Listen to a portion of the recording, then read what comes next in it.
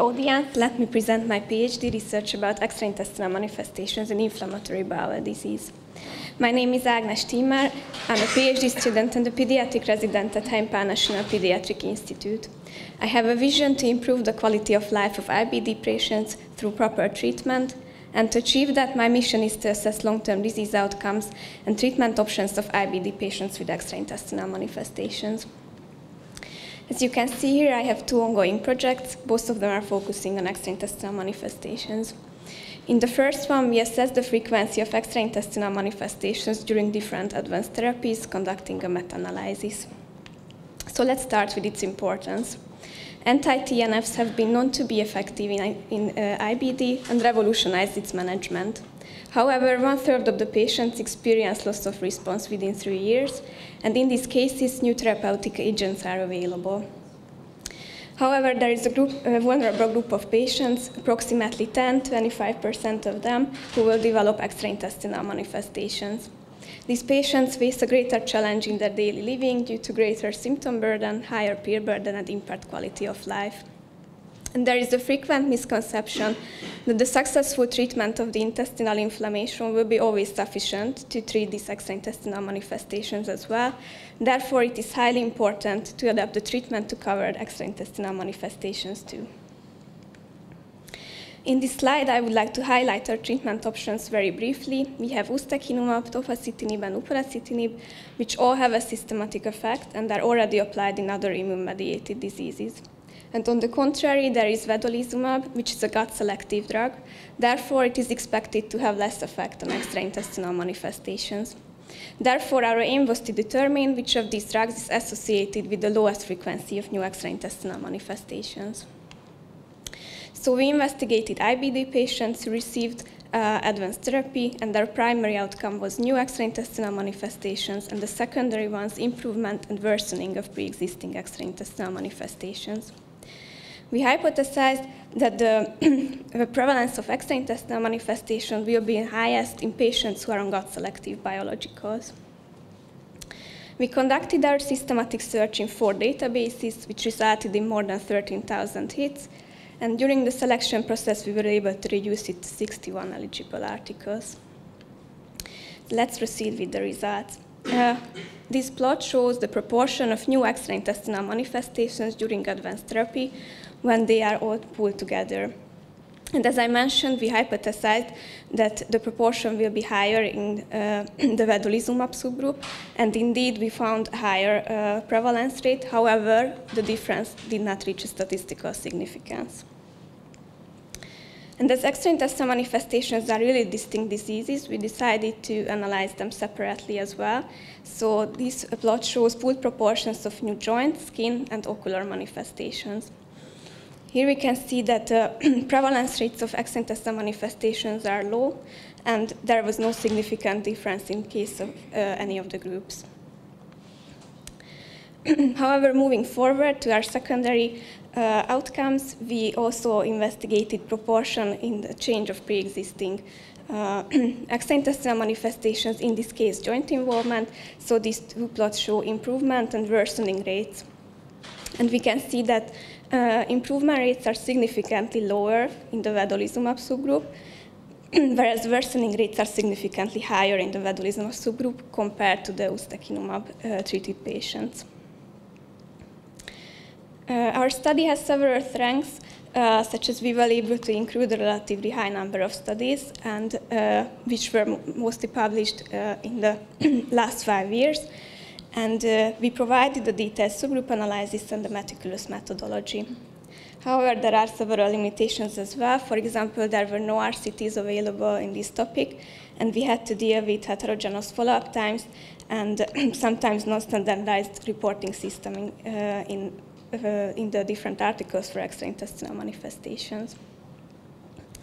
So, uh, to conclude, uh, new extraintestinal manifestations during advanced therapy seem to be rare, and there was only a significant difference in case of worsening and uh, improvement rates uh, uh, where joint involvement was present. So we suggest not to under-prioritize vedolizumab in cases of pre-existing extraintestinal manifestations, except where a joint involvement is present. And for the research side, we suggest to come up with a more standardized reporting system, and there is a, a strong need for prospective registries with detailed information about extraintestinal manifestations and these advanced therapies. And I'm really glad to say that uh, our article was accepted and published uh, in this month in the Journal of Crohn's and Colitis, which is a D1 journal. As I mentioned, my, uh, my second project is also focusing on extraintestinal manifestation. Here we are investigating the association of extraintestinal manifestations and the intestinal disease severity in uh, children with IBD. So extraintestinal manifestations are frequent in the pediatric uh, IBD population as well. At least 25-40% of them will develop at least one during their lifetime. However, little is known whether these patients experience more severe intestinal disease course. We found a recent meta-analysis which showed that these patients who have extraintestinal manifestations have a higher risk of undergoing IBD-related surgery and receiving biological therapy. Uh, this meta-analysis included articles mostly with adults, so we are uh, interested whether the situation is the same with children. And there are already some suggestions in the literature that early aggressive therapy could prevent uh, long-term complications. So our aim is to provide a descriptive analysis of the frequency of extraintestinal manifestations in the Hungarian pediatric IBD patients based on the uh, HUPI registry, and to analyze the association between the presence of extraintestinal manifestations and the intestinal disease course.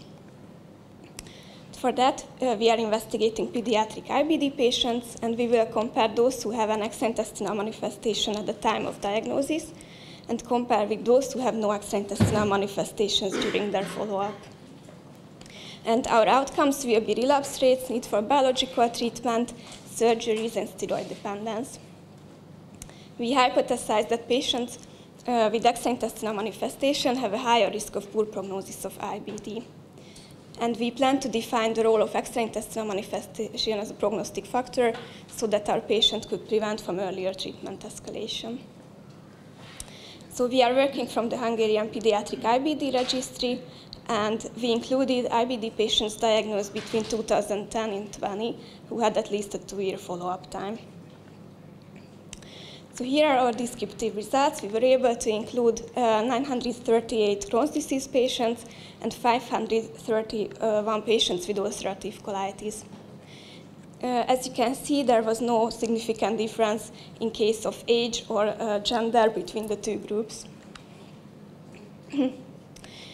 so moving forward, we used Kaplan-Meier curves to uh, demonstrate our data. This uh, shows biological free survival and we can see that in case of Crohn's disease patients, uh, those who had an extraintestinal manifestation and diagnosis uh, received biological treatment significantly earlier than those who, who had no extraintestinal manifestations. We see a, a, same tendency in case of ulcerative colitis patients, although we cannot say that uh, it is significant because uh, the statistics does not show them. Mm, moving to uh, relapse-free survival, here we can see that there was uh, no difference between the, uh, between the two groups, mm, neither in uh, Crohn's disease patients nor in ulcerative colitis patients.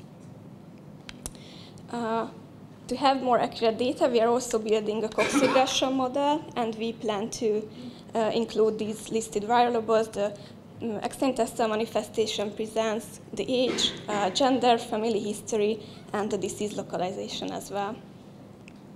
So we received most of the uh, data, and I've already started to write the article.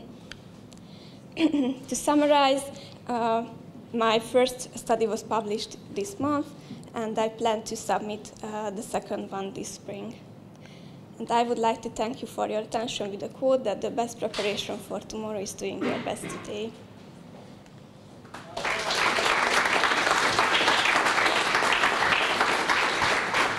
My question is regarding your second project. You mentioned that you included patients with at least two-year follow-up, but what was the mean follow-up time? Yes, the average follow-up time uh, in this registry is approximately uh, 2.6 uh, years it's, uh, it's seems to be a short follow-up time, but uh, it's not because the dropout rates are so high, but these patients are usually diagnosed in their adolescent year, so they uh, go from this registry to the adult gastroenterology care. You said that it's in progress. Okay, we understand it, but uh, maybe what do you think? What will be the most important uh, extraintestinal manifestation? Why patients have more biological in Crohn? You mean what type of? So you said that basically, if somebody have uh, more extraintestinal manifestation at the beginning, yes, have higher chance in Crohn to start biological early. But uh, which extraintestinal manifestation is a, a, risk factor or maybe in this model uh, significant? Yeah. We, we are thinking about joint manifestation. Joint. Yes. Right. Yes, joint manifestations, and uh, we plan to look at it particularly uh, in case of arthritis or arthralgia. That uh, maybe. So you will do sub-analysis also. Yes. Okay. Great.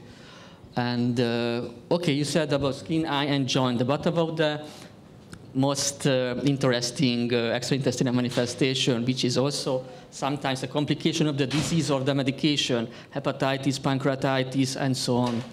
What do you think about? Uh, so, in, in, this article, we did not consider pancreatitis as an extraintestinal manifestation because we followed the uh, ECCO guideline, and based on that, it, was not listed as an, um, an extraintestinal manifestation. Uh, so we were just dealing with uh, sclerotizing cholangitis as in case of liver manifestations. But mm, there we could see no, no difference between the treatments, so vedolizumab seemed to be as good as the others. I would like to ask about your second project, and as we know that the younger age of the patients is associated with worse prognosis, are you going to do some subgroups according to age? Um, yes, I think it, since it will be in the Cox regression model uh, variable, the age, then it, it will be analyzed as a, as a factor. But thank you for Thanks. your question.